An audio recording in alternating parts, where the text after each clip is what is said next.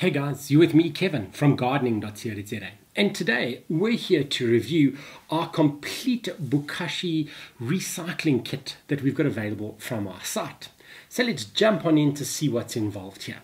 So the set comes with two 25 litre containers, a 2 kilogram Bokashi bran mix, uh, as well as all the instruction manuals.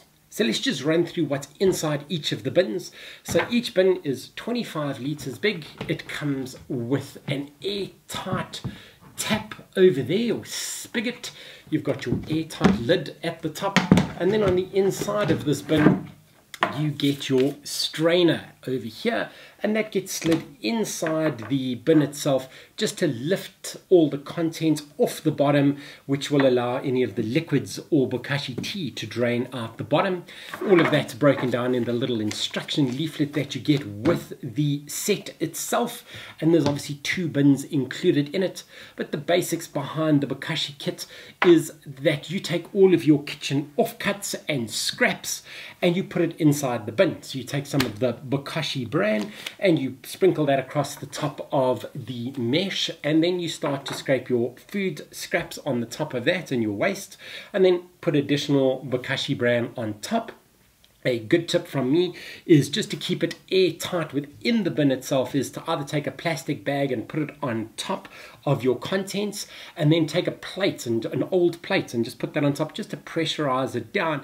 And essentially what happens is the activated bokashi bran causes a fermentation process to break down the foodstuffs inside the bin itself and that can turn it into an enriched soil type mixture which you can mix into your soil. If you bury it about 30 centimeters underground and mix it up or you can add it to your worm farms to make vermicompost the bran itself is enriched with a microbe, very similar to the same stuff that's used in the manufacture of yogurt. And that uh, activated microbe is what breaks down the food and causes the fermentation. So you would fill this bin up almost to the very, very top. And once it's full, you add a bit more bokashi and you set the bin aside for two weeks. And during that fermentation process, you can start the second bin. So you can just put them on a constant recycle basis, making this the complete home recycling kit.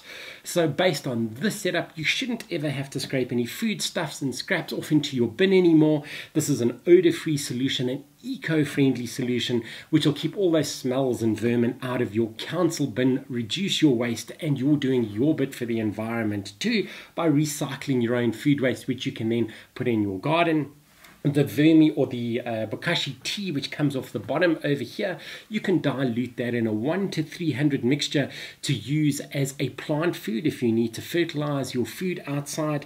And the concentrated mix from the bottom can be used to pour down drains and septic tank systems and that'll eat away at any grease and reduce any odors as well. So the zero waste from the inside here everything can be used. We think it's a really great solution. It's available from our website. We've got one of these sets avail- uh, going at our home at the moment, and we're having a lot of fun recycling all of the stuff, and we get quite a lot of enjoyment out of it. So you can order this complete set on our website. We can courier to you anywhere in the country, and it's just a good fun thing to do. So that's it from me, guys, and I look forward to seeing you out and about in your gardens really soon.